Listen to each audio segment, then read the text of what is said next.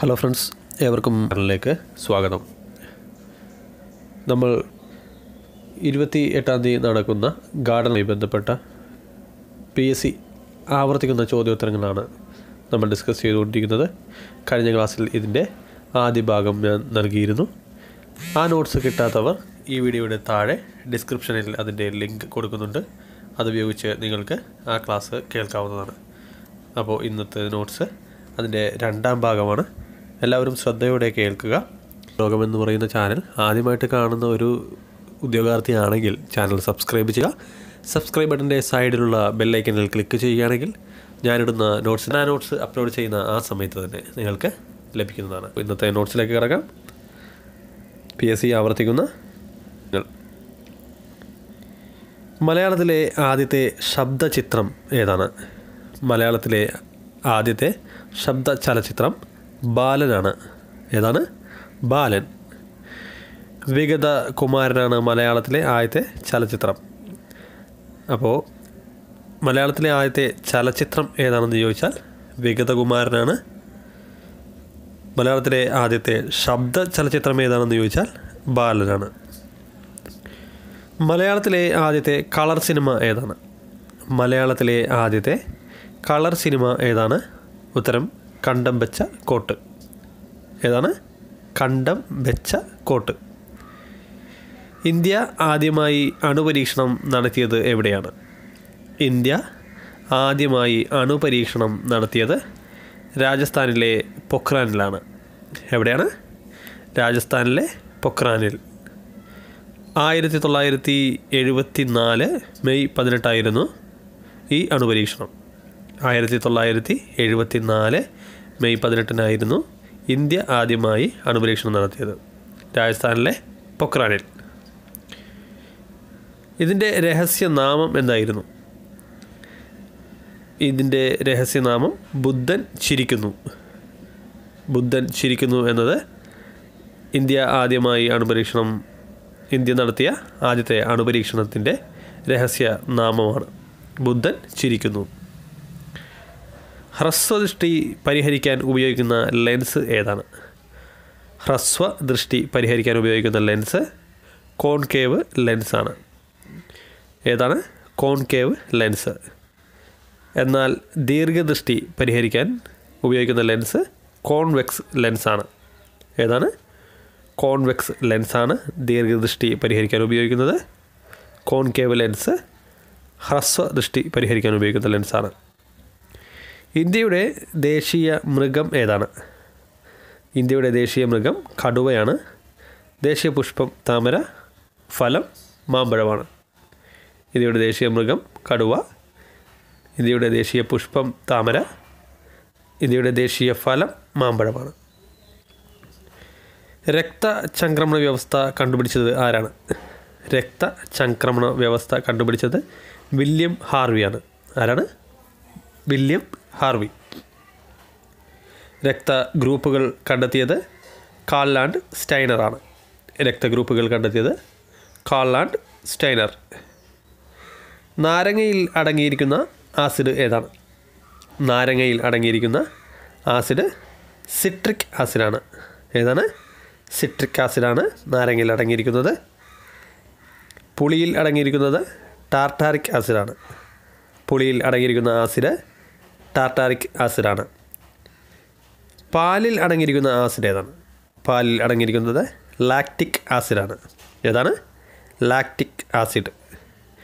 വിനാഗിരിയിൽ അടങ്ങിയിരിക്കുന്നത് അസറ്റിക് ആസിഡാണ്. വിനാഗിരിയിൽ അടങ്ങിയിരിക്കുന്നത് അസറ്റിക് ആസിഡാണ്.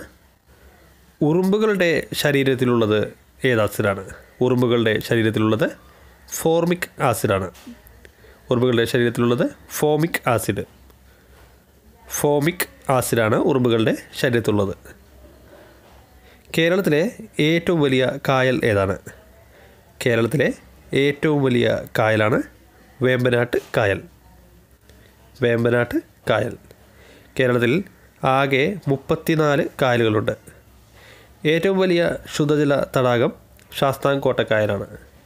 കേരളത്തിലെ ഏറ്റവും വലിയ ശുദ്ധജല തടാകം ശാസ്താംകോട്ട കായലാണ്. ഇന്ത്യൻ നാഷണൽ കോൺഗ്രസ് സ്ഥാപിതമായ വർഷം ഏതാണ്? ഇന്ത്യൻ നാഷണൽ കോൺഗ്രസ് സ്ഥാപിതമായത് ആയിരത്തി എണ്ണൂറ്റി എൺപത്തി അഞ്ചിലാണ് ആയിരത്തി എണ്ണൂറ്റി എൺപത്തി അഞ്ചിൽ ആദ്യത്തെ യോഗം നടന്നത് മുംബൈയിലെ ഗോകുൽദാസ് തേജ്പാൽ കോളേജിലാണ്. ഇന്ത്യൻ നാഷണൽ കോൺഗ്രസ് സ്ഥാപിതമായ വർഷം ആയിരത്തി എണ്ണൂറ്റി എൺപത്തി അഞ്ചിലാണ് ആദ്യത്തെ യോഗം നടന്നത് മുംബൈയിലെ ഗോകുൽദാസ് തേജ്പാൽ കോളേജിലാണ്. ഇന്ത്യയിലെ ഉരുക്കു മനുഷ്യൻ എന്നറിയപ്പെട്ടത് ആരാണ്? ഇന്ത്യയിലെ ഉരുക്കു മനുഷ്യൻ എന്നറിയപ്പെട്ടത് സർദാർ വല്ലഭായ് പട്ടേൽ. സർദാർ വല്ലഭായ് പട്ടേലാണ് ഇന്ത്യയിലെ ഉരുക്കു മനുഷ്യൻ എന്നറിയപ്പെട്ടത്. ഇന്ത്യയുടെ ആദ്യത്തെ ഉപപ്രധാനമന്ത്രി ആരായിരുന്നു എന്ന് ചോദിച്ചാലും സർദാർ വല്ലഭായ് പട്ടേലാണ്. ഇന്ത്യയിലെ ആദ്യത്തെ ഉപപ്രധാനമന്ത്രിയാണ് സർദാർ വല്ലഭായ് പട്ടേൽ. ഇന്ത്യയുടെ ഉരുക്കു വനിത ആരാണ്? ഇന്ത്യയുടെ ഉരുക്കു വനിത ഇന്ദിരാഗാന്ധിയാണ്. ഇന്ത്യയുടെ ഉരുക്കു മനുഷ്യൻ സർദാർ സർദാർ വല്ലഭായ് പട്ടേലും ഇന്ത്യയുടെ ഉരുക്കു വനിത ഇന്ദിരാഗാന്ധിയുമാണ്. രാഷ്ട്ര ശില്പി ആരാണ്? രാഷ്ട്ര ശില്പി ജവഹർലാൽ നെഹ്റുവാണ്. ഗാന്ധിജി രാഷ്ട്രപിതാവാണ്. രാഷ്ട്രശില്പി ജവഹർലാൽ നെഹ്റുവാണ്. ഗാന്ധിജി രാഷ്ട്രപിതാവാണ്. ജ്ഞാനപീഠം അവാർഡ് നേടിയ ആദ്യത്തെ കൃതി ഏതാണ്? ആദ്യത്തെ കൃതി ഓടക്കുഴലാണ്. ഏതാണ്? ഓടക്കുഴലാണ് ജി. ശങ്കരക്കുറുപ്പാണ് ആയിരത്തി തൊള്ളായിരത്തി അറുപത്തി അഞ്ചിൽ ആദ്യമായി ജ്ഞാനപീഠം നേടിയത്. ജി. ശങ്കരക്കുറുപ്പാണ് ആയിരത്തി തൊള്ളായിരത്തി അറുപത്തി അഞ്ചിൽ ആദ്യമായി ജ്ഞാനപീഠം നേടിയത്. ജ്ഞാനപീഠം അവാർഡ് നേടിയ മറ്റു കേരളീയർ ആരൊക്കെയാണ് നോക്കാം. ജ്ഞാനപീഠം അവാർഡ് നേടിയ മറ്റു കേരളീയരാണ് S K Pottekkatt Thakazhi M T Vasudevan Nair O N V Kurup എന്നിവർ. S K Pottekkatt Thakazhi M T Vasudevan Nair O N V Kurup എന്നിവരാണ് ജ്ഞാനപീഠം അവാർഡ് നേടിയ മറ്റു ആളുകൾ. സൂര്യനിൽ നിന്ന് ഏറ്റവും അകലെയുള്ള ഗ്രഹം ഏതാണ്? സൂര്യനിൽ നിന്ന് ഏറ്റവും അകലെയുള്ള ഗ്രഹമാണ് നെപ്റ്റ്യൂൺ. സൂര്യനിൽ നിന്ന് ഏറ്റവും അകലെയുള്ള ഗ്രഹമാണ് നെപ്റ്റ്യൂൺ. രക്തം കട്ടപിടിക്കാൻ ആവശ്യമായ ജീവകം ഏതാണ്? രക്തം കട്ടപിടിക്കാൻ ആവശ്യമായ ജീവകമാണ് ജീവകം കെ. ഏതാണ്? ജീവകം കെ. ഫില്ലോക്യുനോൺ എന്നാണ് ജീവകം കെയുടെ ശാസ്ത്രീയ നാമം. ജീവകം കെയുടെ ശാസ്ത്രീയ നാമം ഫില്ലോ ക്വിനോൺ ജീവങ്ങളെ കണ്ടെത്തിയ ശാസ്ത്രജ്ഞൻ ആരാണ്? ജീവകങ്ങളെ കണ്ടെത്തിയ ശാസ്ത്രജ്ഞൻ കാസിമർ പങ്കാണ്. ജീവകങ്ങളെ കണ്ടെത്തിയ ശാസ്ത്രജ്ഞൻ കാസിമർ പങ്കാണ്. ഇന്ത്യയിലെ കറൻസി നോട്ടിൽ എത്ര ഭാഷകളിൽ മൂല്യം രേഖപ്പെടുത്തിയിട്ടുണ്ട്? ഇന്ത്യയിലെ കറൻസി നോട്ടിൽ എത്ര ഭാഷകളിൽ മൂല്യം രേഖപ്പെടുത്തിയിട്ടുണ്ട്? ഉത്തരം പതിനേഴ് ഭാഷകളിൽ.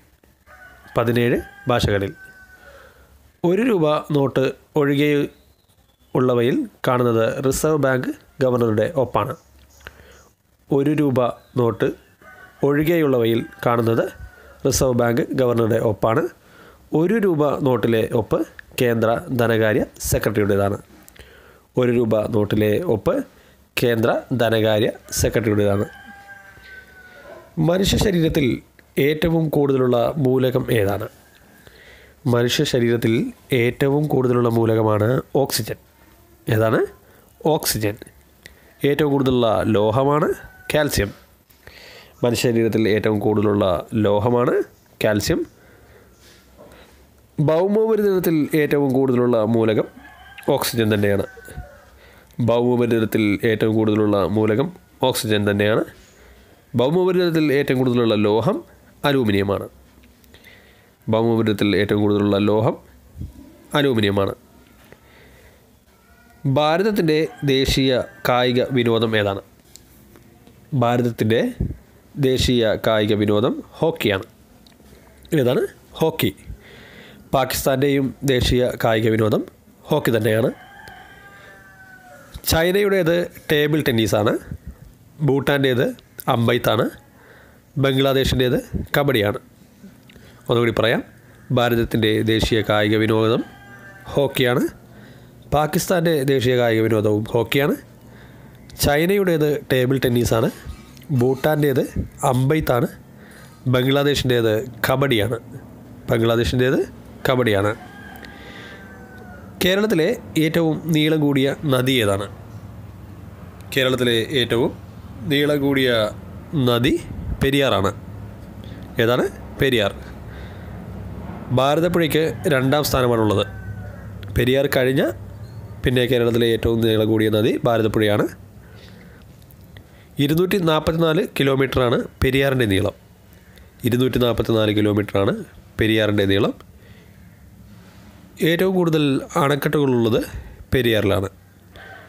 ഏറ്റവും കൂടുതൽ അണക്കെട്ടുകളുള്ളത് പെരിയാറിലാണ്. കുണ്ടറ കുണ്ടറ വിളംബരം പുറപ്പെടുവിച്ചത് ആരാണ്? കുണ്ടറ വിളംബരം പുറപ്പെടുവിച്ചത് വേലുത്തമ്പി ദളവ.